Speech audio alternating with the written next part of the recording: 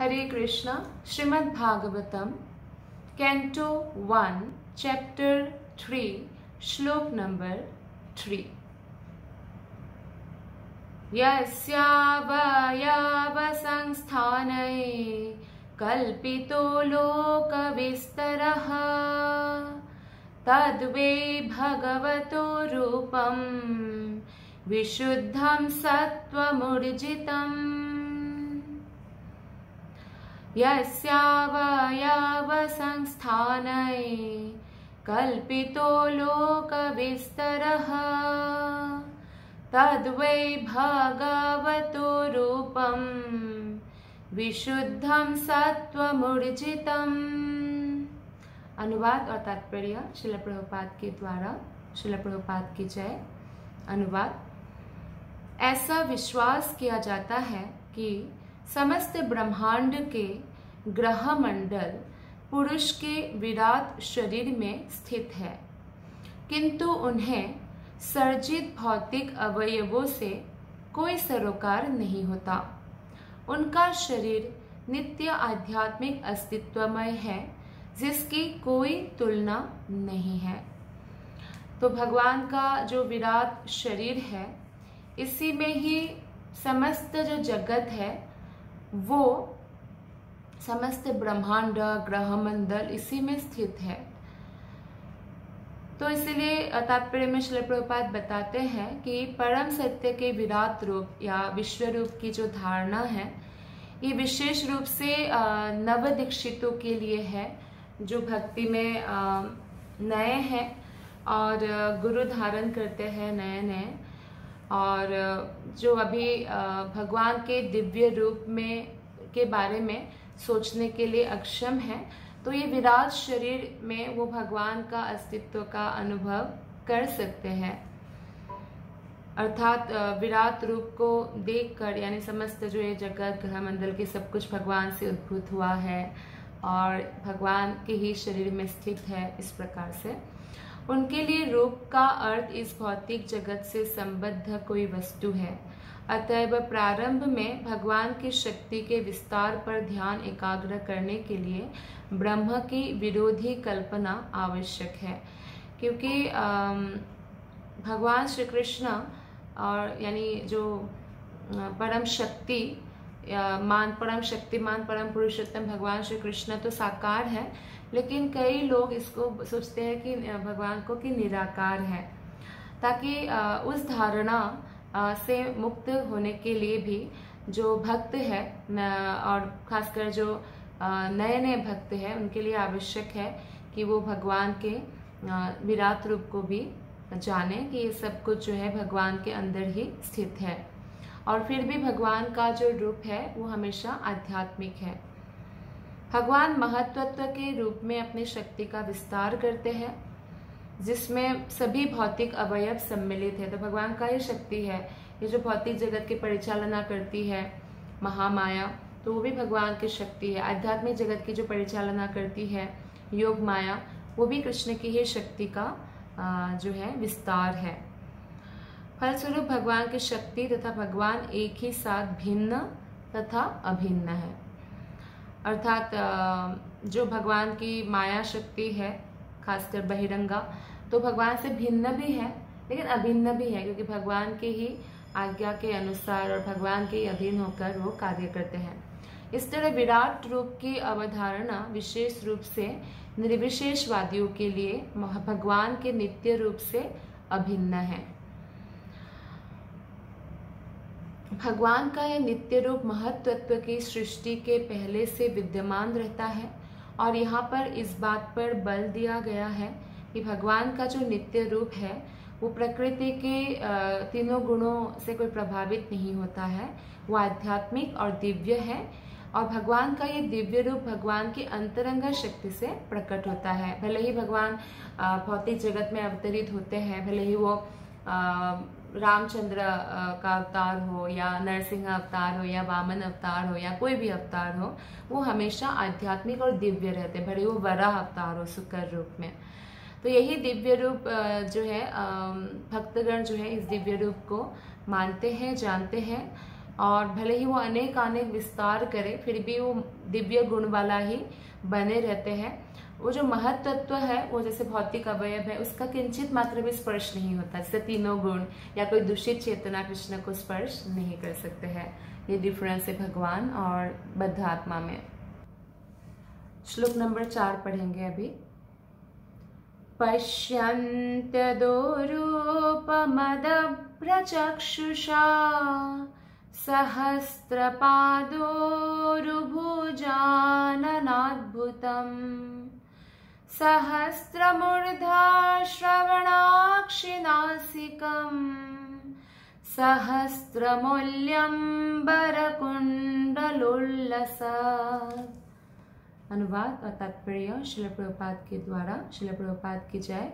अनुवाद, भक्तगण अपने विमल पूर्ण नेत्रों से उस पुरुष के दिव्य रूप का दर्शन करते हैं, जिसके हज़ारों हज़ार पाँव जंघाएँ, भुजाएँ तथा मुख है और सबके सब अद्वितीय है। उस शरीर में हज़ारों सिर, आँखें, कान तथा नाक होते हैं। वे हज़ारों मुकुटों तथा चमकते कुंडलों से अलंकृत हैं और मालाओं से सजाए गए हैं। जैसे अर्जुन ने भगवान के विराट रूप का जब दर्शन किया था तो अर्जुन ने यही देखा कि विराट रूप में हज़ारों हज़ारों मुख है, आँखें हैं, नाक है और जितना सर है, उतना वो मुकुट भी पहने हुए हैं। हज़ारों हाथ है, पैर है। तो इस प्रकार से देखते हैं भक्तगण। हम अपनी वर्तमान भौतिक इंद्रियों से दिव्य भगवान को रंच मात्र भी नहीं देख पाते। यहाँ तक कि अर्जुन को भी जब विराट रूप दिखाना था कृष्ण को तो कृष्ण ने अर्जुन को दिव्य चक्षु प्रदान किया था। तो हम सोचे कि हम अपने साधारण आँखों से भगवान का जो है, भगवान को देख सके, दिव्य भगवान को, ये संभव नहीं है। हमारी वर्तमान इंद्रियों को भक्तिमय सेवा की प्रक्रिया द्वारा ठीक करने की आवश्यकता है, तभी भगवान स्वयं हमें दर्शन देते हैं। तो शिल प्रपात कहते हैं, लोग इतना परेशान रहते हैं कि भगवान का दर्शन कब होगा कब होगा। हमें क्या करना चाहिए?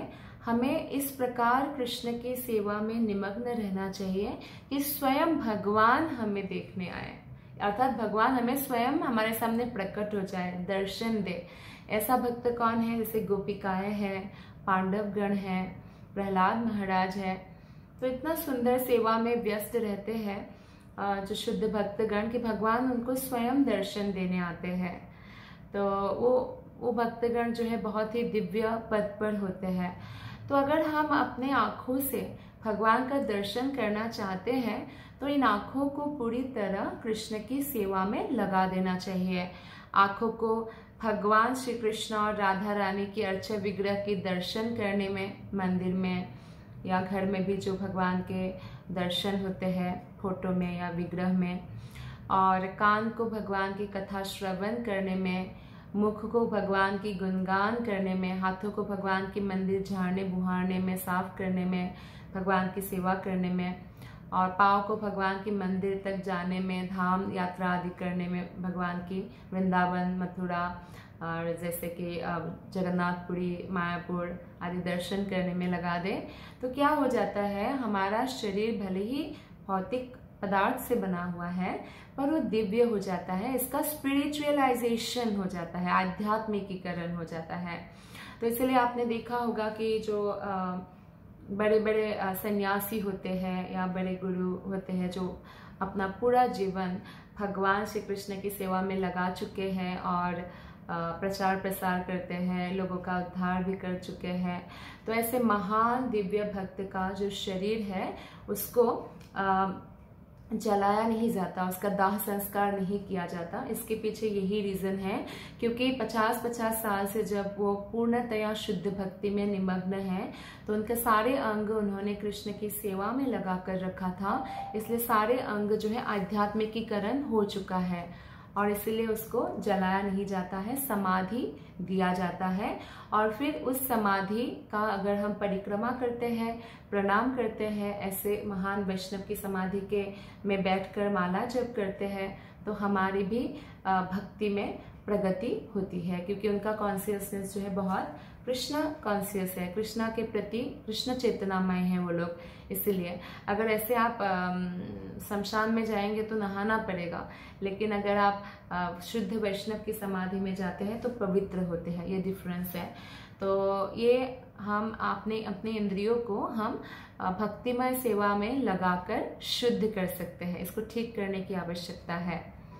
तो भगवत गीता में पुष्टि की गई है कि शुद्ध भक्तिमय सेवा द्वारा ही दिव्य रूप भगवान के दर्शन किए जा सकते हैं। और कोई अन्य उपाय नहीं है कि भगवान के दर्शन करें। एक्चुअली हमारे प्रेममय भक्ति देखकर कृष्ण जब प्रसन्न हो जाते हैं और हम पर कृपा करते हैं, तभी दर्शन संभव है। हम भगवान को बाध्य नहीं कर सकते कि मैंने आपके लिए ये किया, वो क्या, आप दर्शन देना ही पड़ेगा, है ना? तो गोपिकाओं को देखिए कैसी भावनाएँ हैं। कि कृष्ण की कृपा के लिए वो इंतज़ार करते हैं। हालाँकि वो कृष्ण से कितना प्रेम करते हैं। चैतन्य महाप्रभु ने भी जो शिक्षाष्टक है, उसका जो अंतिम श्लोक है, आठवां श्लोक, उसमें कहते हैं आश्लिष्य वा पादरतां पिनष्टु मामदर्शनां मर्महतां करोतु वा यथा तथा वा विदधातु लम्पटो मत्प्राणनाथश्च स एव नापरा। अर्थात मुझे आप भले ही कृष्णा मुझे गाढ़ आलिंगन करें आप या मुझे दर्शन ना देकर मर्माहत करें। आप जो चाहे वो कर सकते हैं पर मेरे प्राणनाथ आप ही रहेंगे। इस तरह का भाव होता है शुद्धतम भक्तों का। तो हमें इस भाव को कल्टीवेट करना है और इस भावना से हम भगवान को प्राप्त कर सकते हैं। इस तरह ओके okay, तो हम देखते हैं कि इस तरह वेदों में भी पुष्टि हुई है कि केवल भक्ति ही मनुष्य को भगवान की ओर ले जा सकती है और केवल भक्ति से भगवान प्रकट होते हैं। कृष्ण भागवत गीता में भी कहते हैं, भक्त्या माम थी तो भक्ति के बिना हम सोचे हम कृष्ण को जान लेंगे, कृष्ण का दर्शन कर लेंगे, पा लेंगे, संभव नहीं। है केवल भक्ति के द्वारा ही वो भी कैवल्य भक्ति, अनन्य भक्ति, केवल कृष्ण। ऐसा भक्ति कृष्ण के प्रति, और कृष्ण ही परम पुरुषोत्तम भगवान है, इस बात को जानकर जो भक्ति होती है। तो ब्रह्म संहिता में भी कहा गया है कि भगवान सदैव उन भक्तों को दिखते हैं, जिनकी आँखों में भक्त भक्ति रूपी अंजन लगा रहता है। भक्ति रूपी अंजन का मतलब जैसे जिन भक्त भक्त के हृदय में कृष्ण के प्रति इतना प्रेम है कि उनकी आँखों में वो प्रेम छलकता है। उनकी आँखें कई बार भर आता है, गला रुढ़ हो जाता है। कृष्ण के प्रति जो प्रेम है तो वो अंजन है, वो भक्ति रूपी अंजन है आँखों का। ऐसे आँखें बहुत सुंदर लगते हैं। कृष्णा ऐसे भक्तों के जो है भक्तों के सेवा के लिए भी लालायित रहते हैं, जो कृष्ण से इतना अधिक प्रेम करते हैं। तो ऐसे भक्तों को भगवान दिखते हैं, क्योंकि वो भगवान उनसे छुप नहीं सकते हैं। इतना भगवान भी उनके भक्त के लिए जो है मिलने के लिए इतना बेचैन रहते हैं ऐसे भक्ति रूपी अंजन जो लगाकर रहते हैं भक्तगण। अतएव हमें भगवान के दिव्य रूप की जानकारी ऐसे व्यक्तियों से प्राप्त करनी होती है जिन्होंने भक्ति के अंजन से रंजित आँखों से उनका दर्शन किया है। तो आ, हमें ऐसा नहीं कि हम किसी को भी भगवान के बारे में पूछ लेते हैं। जैसे कई बार हम जैसे हम भक्ति में भी जुड़े हैं तो क्या होता है नए नए हैं तो हम अड़ोसी, पड़ोसी फ्रेंड सबसे पूछ लेते हैं। हमें उनसे पूछना चाहिए जो ऑलरेडी भक्ति में लगा हुआ है।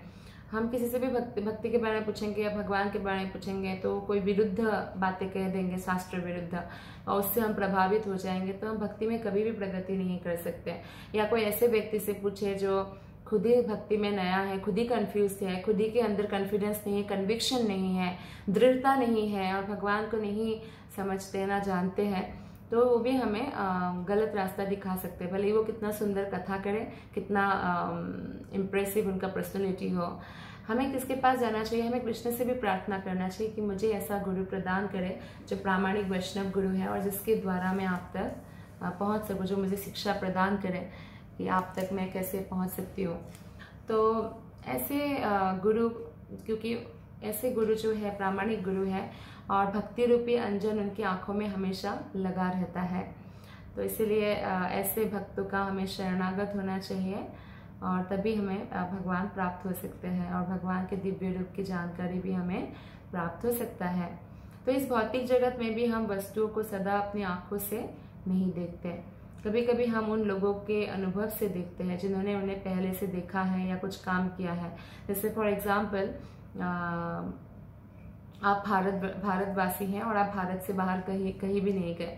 और कोई आपका जो चाचा है या फ्रेंड है, वो अमेरिका से आए हैं तो आप उनको पूछते हैं कि उसका अनुभव क्या है, उसमें रहने का कैसा है क्या भारत जैसा है कि थोड़ा डिफरेंट है?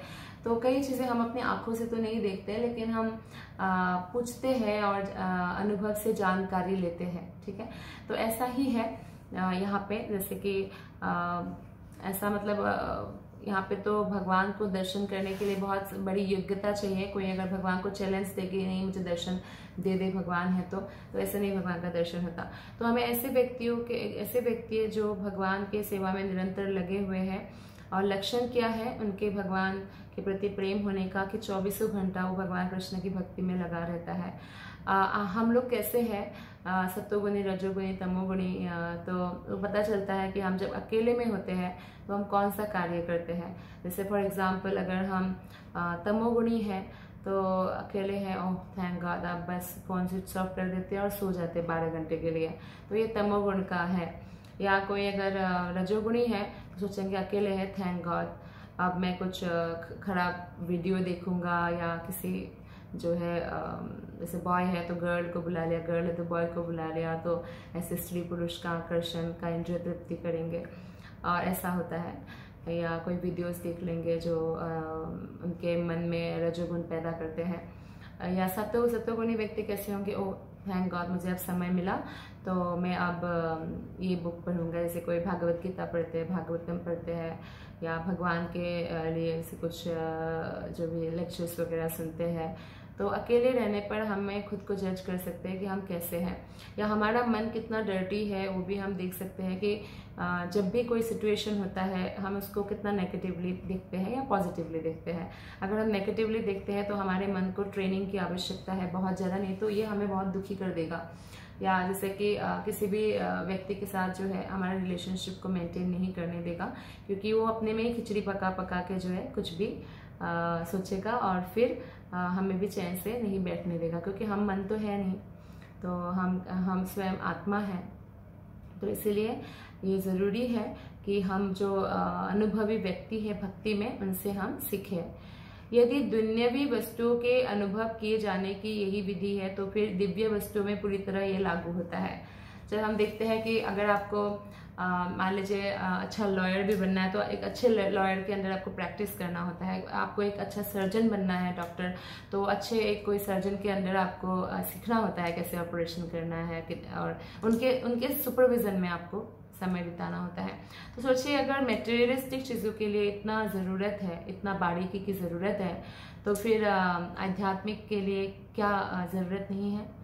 तो इसीलिए आध्यात्मिक जीवन के लिए ये बहुत आवश्यक है कि हम एक अनुभवी भक्त का शरणागत हो। अतएव केवल धैर्य तथा दृढ़ता से ही परम सत्य संबंधी दिव्य विषय तथा उनके विविध रूपों के संबंध में अनुभूति प्राप्त की जा सकती है। नव दीक्षितों के लिए वे स्वरूप विहीन है, किंतु दक्ष सेवक के लिए वे दिव्य रूप से युक्त होते हैं। तो धैर्य होना चाहिए, हमारे अंदर दृढ़ता होना चाहिए, भगवान की सेवा में दृढ़ता से लगा, लगे रहना चाहिए और धैर्य भी धारण करना चाहिए। तो इस प्रकार हम जो है भगवान के भक्ति में आगे बढ़ेंगे। और हालाँकि जब हमारी नई नई दीक्षा होती है या भक्ति में हम नए होते हैं तो भगवान के बारे में उतना फॉर्म विश्वास नहीं होता। लेकिन फिर भी हम अगर उत्तम भक्त के शरणागत रहते हैं तो फिर वो विश्वास धीरे धीरे होता है। तो एक ही रात में तो नहीं होगा, लेकिन अगर हम भक्त के संगति में निरंतर रहते हैं तो ये भी हो जाएगा। तो इसलिए हमें शुद्ध भक्त की संगति अति अति आवश्यक है। धन्यवाद। हरे कृष्ण।